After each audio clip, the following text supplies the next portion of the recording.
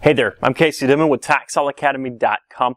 Today we're going to be talking about the pros and the cons of the in-person auctions. Now last week we discussed the pros and the cons of online bidding, but the truth is that there's many parts of the country that haven't yet converted to online bidding.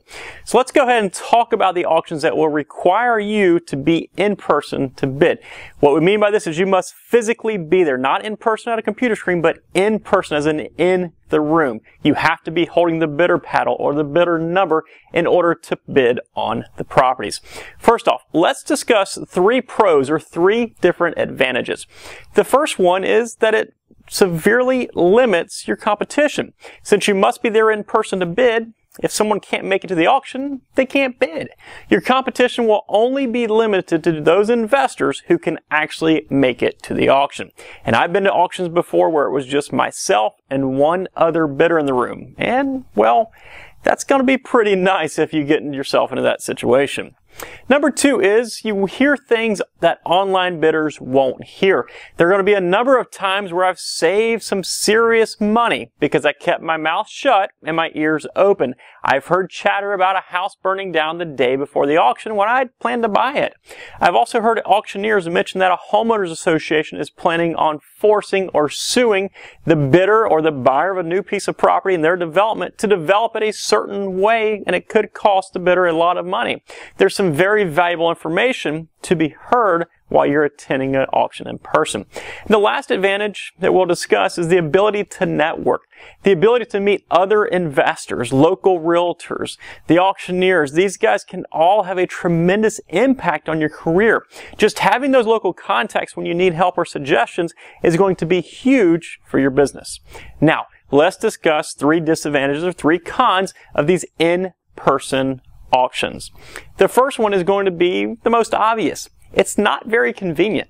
By definition, in-person auctions will require you to be there, well, in person. This means that you have to wake up, you have to get dressed, you have to register, you have to sit at the auction, you have to wait for your property to come up, you bid the whole nine yards. It's just not as convenient as online auctions.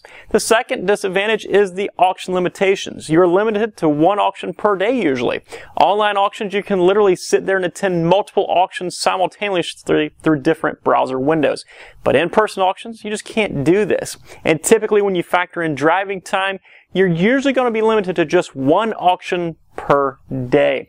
This makes it especially difficult in states like Oklahoma, for instance, where every single auction is going to be held the very same day of the year. And the third con is interactions. And I mean this in the nicest way possible. You have to deal with people. This will include waiting in line for others to register, listening to questions that have already been asked for the auctioneer to only re-answer them again. People telling you not to bid on something. People distracting you from bidding. People trying to talk to you while you're trying to conduct business. That kind of thing. So as you can see, there are certainly some benefits and some drawbacks to in-person only auctions. With that said, the limitation to competition can definitely be a huge advantage if you're able to attend in-person auction. And my suggestion is to not to limit yourself to any particular styles of auction. Go ahead and attend both in-person and online auctions. I really hope this video has helped you. For more information on tax law investing, head on over to Again, that's TaxSaleAcademy.com. Take care, folks. Bye-bye.